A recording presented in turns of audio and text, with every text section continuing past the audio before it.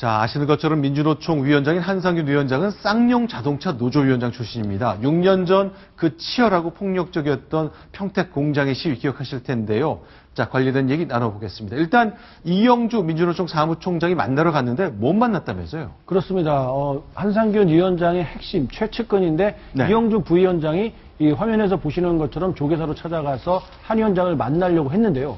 네. 건물 안에 들어가긴 했습니다만 조계사 관계자들이 이를 차단했기 때문에 결국에는 만나지 못하고 발길을 돌려 나왔다는 이야기입니다. 아, 일단 조계사로서도 이제 자꾸 외부 인사들이 한상균 위원장 만나서 뭐 지령도 전달한 것 같고 이런 모습 보여주는 걸 맞습니다. 좀 문제가 된다고 보는 거죠. 그렇습니다. 이 한상균 위원장이 혼자 들어와 있는 그 자체로는 뭐 좀 받아줄 수 있다 이런 네. 입장을 밝히면서도 외부 폭력 세력과 연계돼 있고 지령이 오고 가고 이런 접촉점을 용인한다면 조계사가 그야말로 범죄를 방관하는 것 아니냐 이런 비판이 나올 수 있기 때문에 네. 한 사람의 어떤 불쌍한 사람을 한번 보호해 주자 이런 취지까지는 우리가 용인할 수 있지만 외부 세력과 연계되는 것까지는 단호하게 막음으로써 그런 비판을 사전 차단하겠다 이런 의도로 보입니다.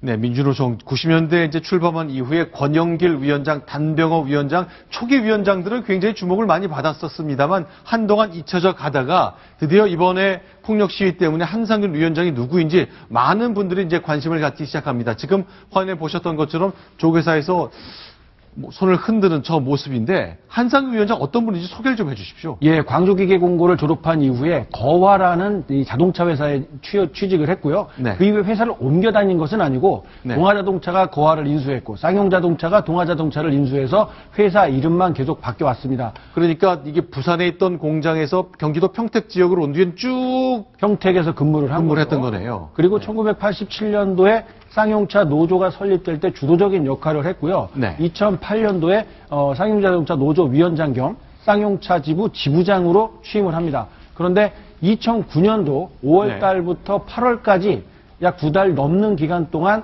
이 장기 파업을 벌여서 이 당시 쌍용자동차가 정리해고를 하겠다라고 했는데 이에 맞서서 두 달 넘게 파업을 이끌었다가 결국 해고 노동자도 지키지 못하고 손해배상만 33억을 노조가 물어주는 등 이런 큰 피해를 남기고 본인도 3년 징역형을 살고 2012년도에 출소했습니다.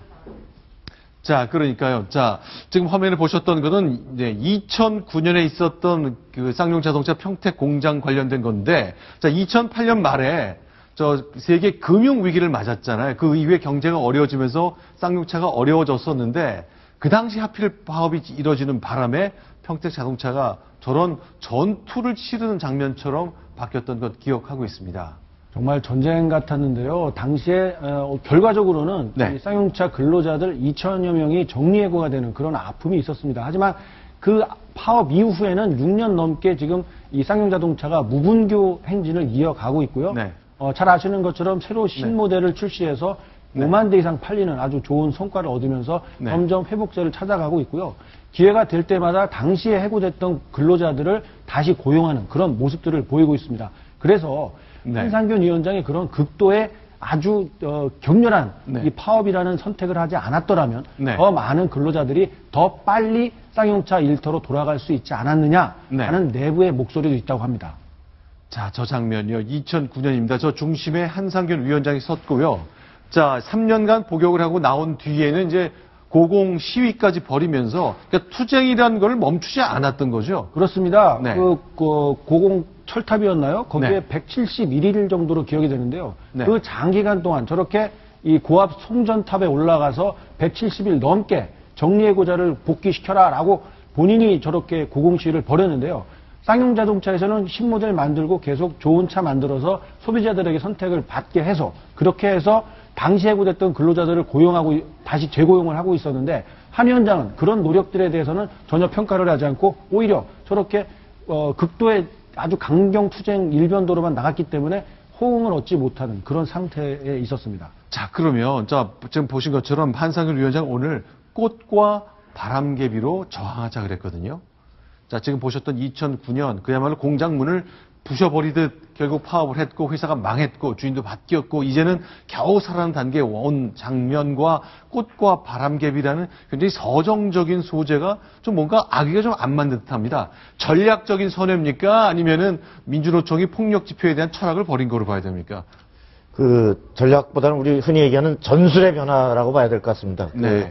아마도 이번 토요일 날 집회에서는 지금 그 어, 집회는 하되 어떤 쇠파이프나 철제 사다리 이런 데에 대한 국민들의 어떤 혐오감 네. 따라서 복면 시위 금지법까지 만들어야 된다라고 네. 하는 이런 여론을 이것은 공권력이 지난번에 그 과잉했던 것이다라는 네. 식으로 본질을 이 바꿔버리기 위해서 아마도 저러한 그 평화 공세 그러니까 네. 뭐 꽃과 그 바람개비를 날리는 이런 그 퍼포먼스를 굉장히 아마 세게 벌일 걸로 예상되는데 네. 그 그렇다 하더라도 지난 14일 날 있었던 시위에 대한 그 불법 폭력에 대한 책임은 한상균 위원장이 그것은 면하기 어렵고 그 또 이후에 민노총이 지속적으로 평화 시위를 과연 계속할 것인가에 대해서는 아마도 그 만일에 그런 것을 하겠다라는 의지가 있다면 한상균 위원장이 그 그날 어, 집회 전에 스스로 자진 출두해서 네. 지나간 그 폭력 행위에 대한 법의 심판을 받고 주장할 것을 주장하는 이런 형태가 돼야 될 것 같습니다. 자, 알겠습니다. 자, 일단 이번 토요일 집회는 허가되는 것으로 법원이 정리를 했습니다.